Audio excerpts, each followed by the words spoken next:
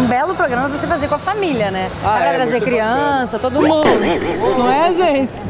Ah, mas tá vendo que eu tô pegando jeito, tô quase lá.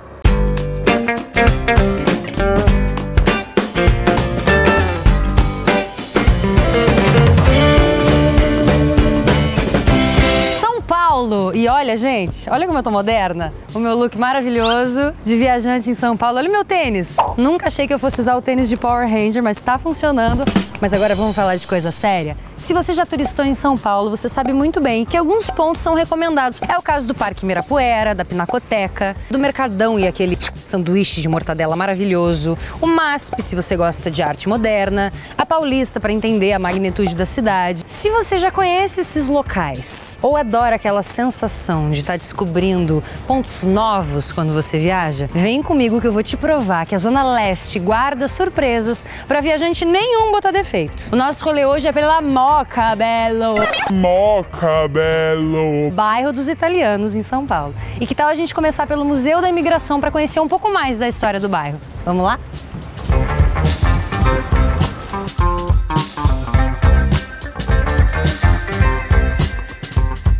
Imagina esse jardim na época que o museu servia como hospedaria, recebia esses imigrantes, cheio de crianças, de mulheres, de, enfim, homens querendo, buscando uma nova vida, sonhando com isso. Eu sou bisneta de imigrantes, é bem emocionante estar aqui. E olha que linda essa figueira.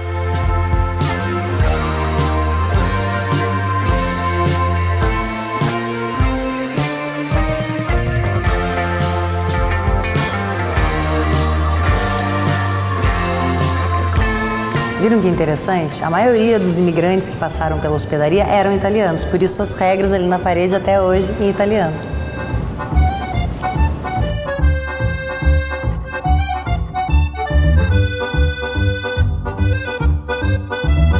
Quando você vier no Museu da Imigração, faça como eu, venha com uma bolsa pequena. Se você tiver uma mochila, um volume maior, tem esses armários aqui que você pode guardar suas coisas e partir para a exposição.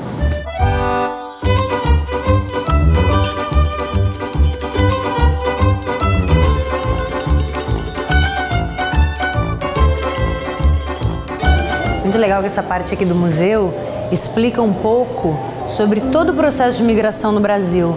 Então, é, uns imigrantes que foram para Manaus trabalhar com látex, que foram para Santa Catarina, Rio Grande do Sul, aí a minha terra, hospedaria Rio Grande. Aqui a gente está vendo umas fotos, porque os imigrantes chegavam aqui na hospedaria e passavam por uma inspeção sanitária. Alguns chegavam doentes e aqui tem uns instrumentos usados pelos médicos. Olha que interessante. Esse é um grupo de portugueses que chegou aqui no mesmo dia, no mesmo navio. E a partir de 1930, o museu também recebe pessoas que, que fazem o que a gente chama de migração interna, né? Principalmente nordestinos que chegavam em São Paulo atrás de melhores oportunidades de vida.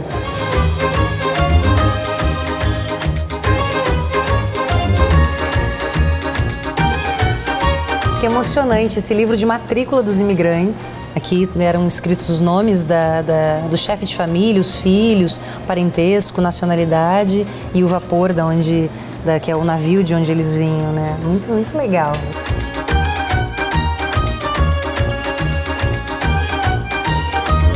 Olha que interessante a gente imaginar que todo esse andar que a gente está visitando era exatamente assim. Eram os dormitórios, né? Essas camas são reproduções. E nas paredes a gente vê vários objetos e móveis que nos remetem à época da hospedaria. Os imigrantes chegavam aqui e tinham todo o atendimento necessário. E que tinha como objetivo que eles chegassem aqui e fossem logo para o seu destino final para trabalhar. Esses só são alguns dos sobrenomes de famílias que passaram por aqui na hospedaria. Se tiver sorte, você pode encontrar o seu aqui na visita.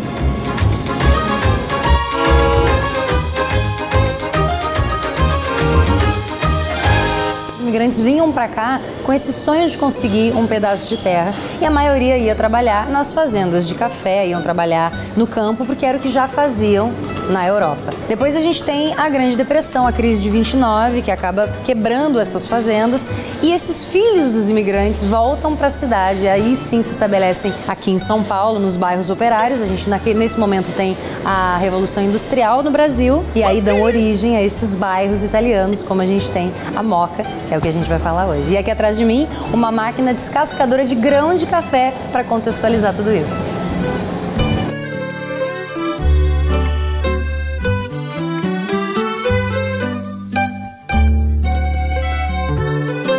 Mais interessante é que o cardápio aqui do café tem modo americano de coar café, café no coador de pano, que nem antigamente, método francês por infusão. Tudo a ver, né, gente, com o Museu da Imigração.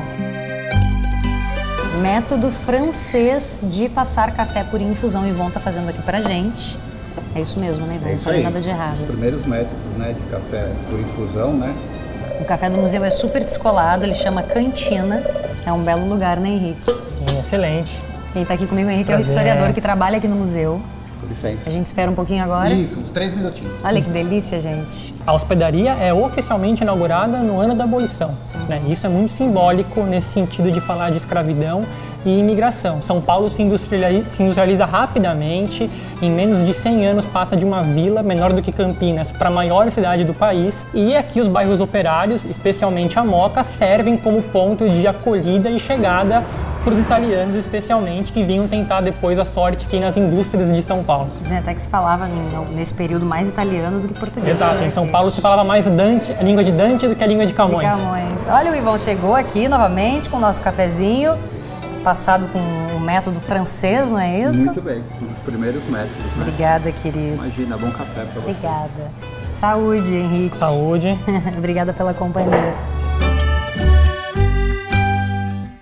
Então, olhando talvez para essas levas migratórias atuais, a gente consiga compreender um pouco melhor como que pensaram nossos bisavós, nossos avós, quando eles entraram no navio sem saber para onde iam, basicamente, como que eles iam viver.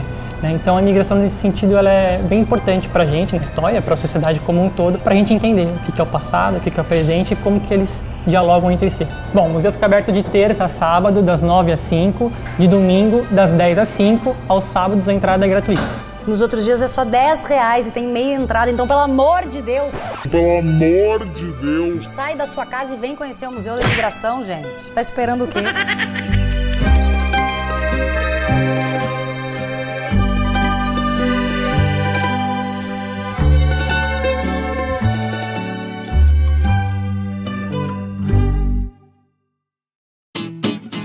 Você está pensando que é impossível pensar na Moca sem lembrar dos restaurantes maravilhosos que existem por aqui. Então vamos conferir?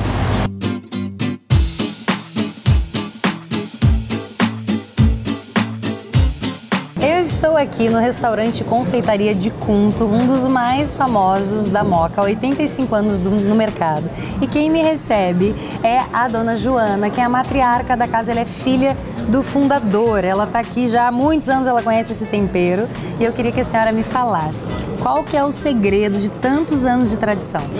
trabalhar com produtos de qualidade. Tem lasanha, tem fusilli, tem nhoque, tem porpeta, tem de tudo. O que, que eu não posso deixar de experimentar? Tem que experimentar de tudo. Não tem escolha errada, dona Joana. Não, não tem. Agora me conta uma coisa, é verdade que o fundador do restaurante, ele que trouxe a receita do panetone pro Brasil? Trouxe. Meu marido. Seu marido que trouxe a receita do Alfredo panetone de pra Cunha. cá. E é bom o panetone da casa? Tem que experimentar. E qual que é o segredo da Moca? O que, que a Moca tem que é tão interessante que não tem em nenhum outro bairro de São Paulo? Porque ah, eles recebem bem. As pessoas a são moca. acolhedoras, são carinhosas, isso é verdade, E sabe viu, gente? receber. Obrigada, dona Nada, Joana. obrigada, Muito obrigada, viu? Tudo de bom. Obrigada, Pra senhora. querida. Bom Obrigada. almoço, manja. Mande aqui te favela. Mande aqui te fa.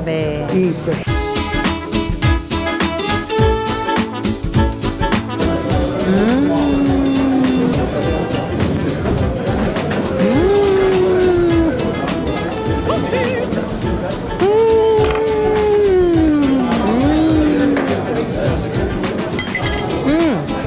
Viu? O pessoal achou que eu tava me sujando. Ou que eu tinha forte potencial. Ganhei um babeiro. Ah, que fofa. Agora pode fazer lambança. Esse é o tipo de comida que não dá pra você pedir num primeiro encontro, né?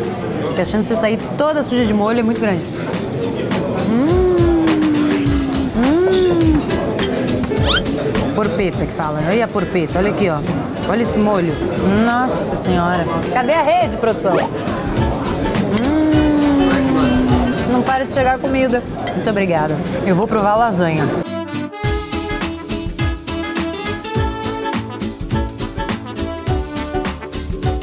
Hum.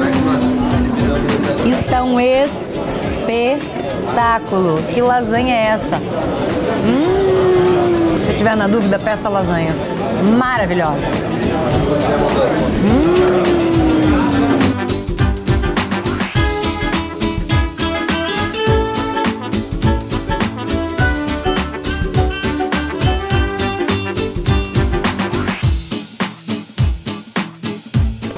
Com a famosa torta. Regina, praticamente uma celebridade aqui na de Contos. Sobremesa mais pedida, olha só, dá uma olhadinha que linda. Me conta um pouquinho do que é feita essa torta. Então, ela é feita de pão de ló, é, carolinas recheada com chantilly e açúcar caramelizado. É a famosa aqui do local, é a que mais que sai. mais vende aqui na, na de Conto. Ah, então tá, vou fazer esse sacrifício e prová-la. Muito obrigada, viu?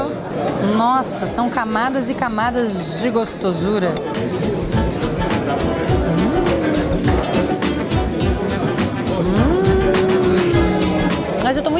Interessada nos canoles, que são esse tipo uma bomba pra gente, é um doce tradicional italiano. Na verdade, essa massa é frita e parece que o segredo é você colocar o recheio na hora, senão deixar a massa mole. Esse aqui é o tradicional, que é tipo um creme de ovo, e aí tem esses mais modernos aqui, nozes, doce de leite. Então eu vou fazer esse sacrifício e vou experimentar.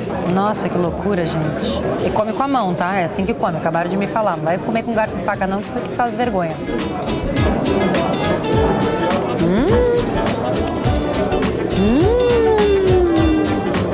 Babei-me toda. Hum, bom, hein? Acho que eu fico com o tradicional. Bem tradicionalzinho, bem crocante, com essa açúcar em cima e creme de ovo.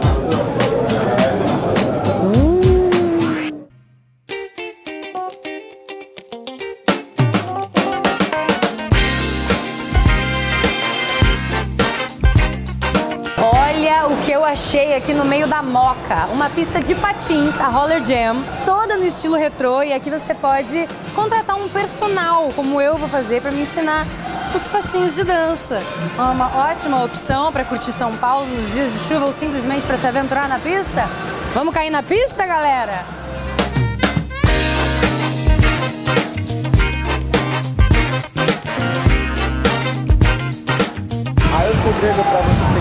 Deixar o bumbum pra trás e o corpo pra frente. Tá.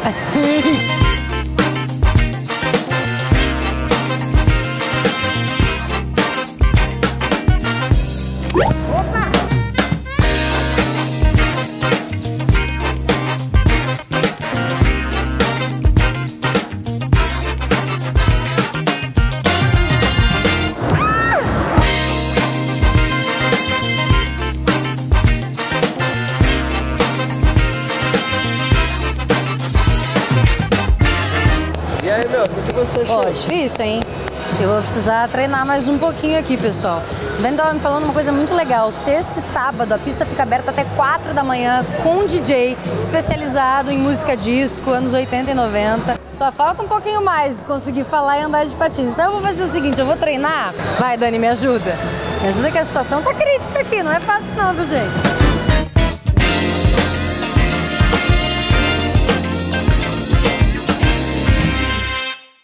O bairro dos italianos em São Paulo é cheio de tradição, mas aqui a gente também encontra muita arte em ambientes totalmente revitalizados, que contam a história do bairro com layout contemporâneo. É o caso do Baixo Moca que eu vou mostrar para vocês no nosso próximo IGTV.